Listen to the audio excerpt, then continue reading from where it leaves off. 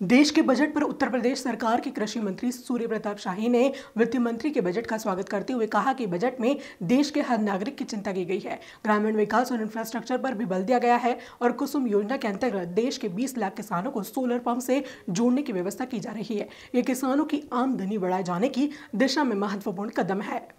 कृषि क्षेत्र की समस्याओं के निराकरण के लिए 15 लाख करोड़ केसीसी के माध्यम से किसानों को आवंटित करने का लक्ष्य रखा गया। इससे कृषि क्षेत्र की बेहतरी होगी, कृषि में टेक्नोलॉजी का इस्तेमाल बढ़ेगा, उत्पादन के भंडारण के लिए बजट में ठोस कदम उठाए गए। पिछले 70 सालों से देश में भंडारण की समस्या है। उस समस्या के समाधान के लिए मोदी सरकार ने बजट में प्राथमिकता दी है। हर तहसील और ब्लॉक के स्तर तक भंडारण की व्यवस्था की जाएगी। ग्रामीण क्षेत्रों में महिलाओं के द्वारा चलाए जा रहे स्वयं सहायता समूह को छोटे भंडारण केंद्र बनाकर उनकी की गतिविधियों को बढ़ाने के लिए बजट में प्रावधान रखा गया। मनरेगा को पशुपालन के साथ जोड़ने से दूध का उत्पादन बढ़ेगा, जिससे देश की इकोनॉमी को गति मिलेगी। मंत्री ने कहा कि मोदी सरकार में किसानों की हालत बेहतर हुई। मनमोहन के 10 साल के कार्यकाल में छह लाख से ज़्यादा किसानों ने आत्महत्या की। मोदी जी पाँच साल के कार्यकाल में जो आंकड़ा आया है, उसमें किसानों की आत्महत्या घटी है। मोदी सरकार के पाँच साल के कार्यकाल में दस दशमलव पाँच हज़ार किसानों ने आत्महत्या की। इसका मतलब है कि मोदी सरकार के कार्यक्रमों का सीधा फ़ायदा किसानों तक पहुँचा है।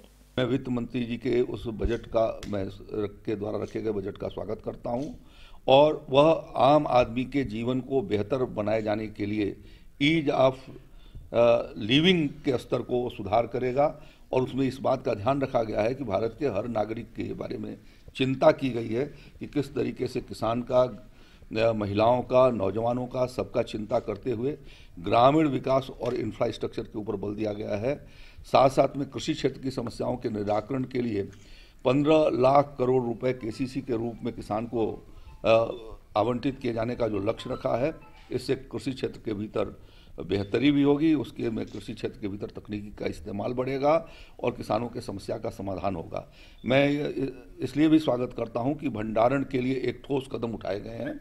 पिछले सत्तर सालों से भंडारण की समस्या देश के भीतर रही है और उस समस्या के समाधान के लिए मोदी सरकार ने प्राथमिकता के आधार पर बजट रखा है और ये इस बात की व्यवस्था की है कि हर तहसील स्तर और ब्लाक स्तर तक हम भंडारण की व्यवस्था कर सकें।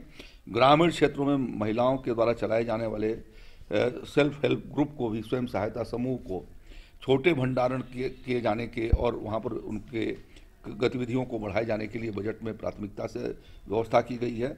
मनरेगा को पशुपालन के साथ जोड़ करके जो काम शुरू किया जा रहा है, इससे देश का दूध उत्पादन बढ़ेगा और देश के इकोनॉमी को गति मिलेगी। किसानों को बेहतर स्थिति हुई है। पिछले मनमोहन सिंह सरकार के कार्यकाल के भीतर 10 वर्षों में 6 लाख से ज़्यादा किसानों ने आत्महत्या किया था।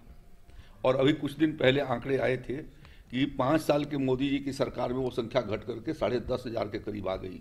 इसका मतलब यह है कि मोदी सरकार के कार्यक्रमों का सीधा फ़ायदा किसान को पहुँचा है और आज दुनिया की जो दूसरी बड़ी योजना है, आयुष्मान भारत के बाद पीएम किसान सम्मान निधि योजना देश के 12 करोड़ किसानों को छः हज़ार रुपये के द्वारा आर्थिक सहायता दिए जाने का जो कार्यक्रम चलाया है उससे किसानों का स्ट्रेस समाप्त हुआ है और उनकी आमदनी बढ़ने की दिशा में जो टेक्नोलॉजी अभी हम मशीन, मशीनों के ऊपर 50 परसेंट अनुदान दे रहे हैं और अस्सी परसेंट तक का अनुसार अनुदान हम कस्टम हायरिंग सेंटर के माध्यम से दे रहे हैं।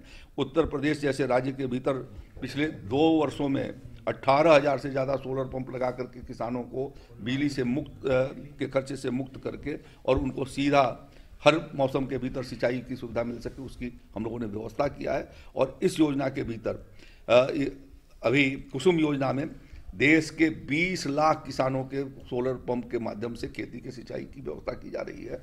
यह किसानों के आमदनी को बढ़ाए जाने की दिशा में यह महत्वपूर्ण कदम